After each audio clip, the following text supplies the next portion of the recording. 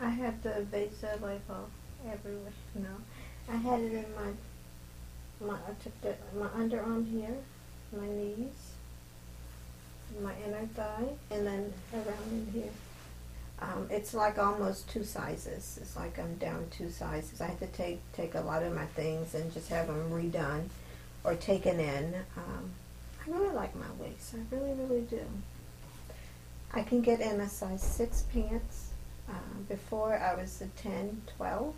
The part I like most is really the waist, around the whole centerpiece and the underarm piece because I'm not self-conscious when I put on like a tank top or, you know, something sleeveless. It was truly up to my expectation. I, I don't feel self-conscious when I take my clothes off now. You know, I used to always try to hide my stomach. You know, the, the little things that women go through. And um, now I have no problem. I, I really enjoy my body myself. So what I found with um, Dr. Shienbaum was, you know, he let me make my decision. You know, he asked me, "You sure this is what you want to do? You know, you want to do?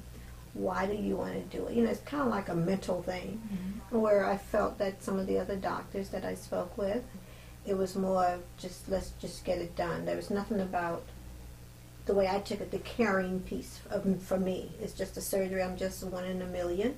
You know what I mean?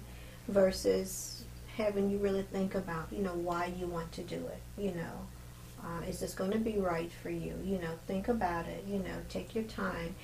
To me, that was more important to me than just being a number. I didn't feel like I was a number. That's a good way to sum it up here and um, I really I, I, selected him for that reason. His responsiveness, um, the way he talked to me during the, in the hospital, you know, before the surgery, and I, I just felt I felt comfortable. I, I wasn't afraid. I wasn't.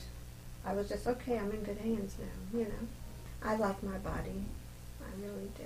So it's a good. It was a good decision for me.